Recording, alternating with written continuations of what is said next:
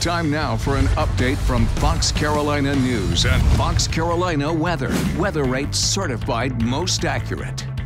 Good evening, everybody. Victoria Carmen here with your flash briefing update, and we'll take you to foxcarolina.com right now. And a story we're following, it's pretty disturbing uh, coming out of actually Beaufort County, but the man you see on your screen is originally from Greer. His name, his name is Seth Taylor Bruce, and he has been charged for spying on minors in a rental home bathroom. Yes.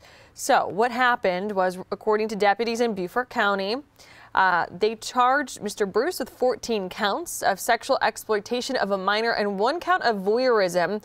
According to the sheriff's office, they say Mr. Bruce is accused of spying on those minors in a bathroom at a rental home in Hilton Head.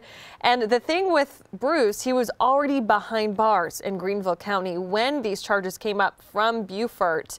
Uh, back in June, Bruce was arrested for 10 counts of sexual exploitation of a minor in Greenville County.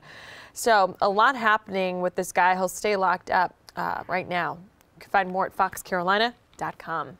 And turning over the forecast now, Bob Trahey tracking some really chilly, uh, cold, below below freezing temperatures. Tonight. It is, you know, but December's just two days away, so it's not all that uncommon, Tori, but still, it is cold, frosty this evening out there, and pretty much everybody is headed for freezing or below as we go through the overnight thanks to high pressure and light winds. You can see the clear skies.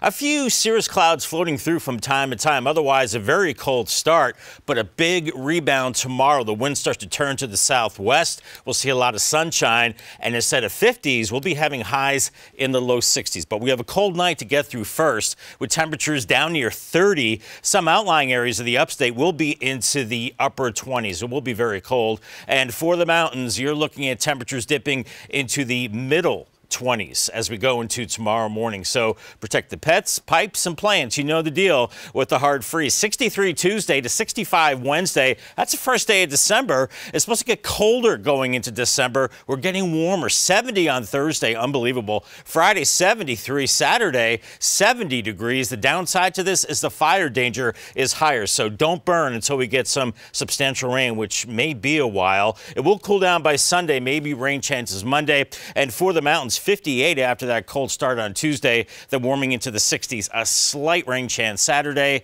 and then maybe a better chance on Monday. For continuing coverage, make sure you check out the morning news with Nicole Pape and the gang tomorrow. They'll have the very latest on your news, traffic, and weather. Also, you can find us on the Fox Carolina News app, Facebook, and YouTube as well. Stay warm and have a great night.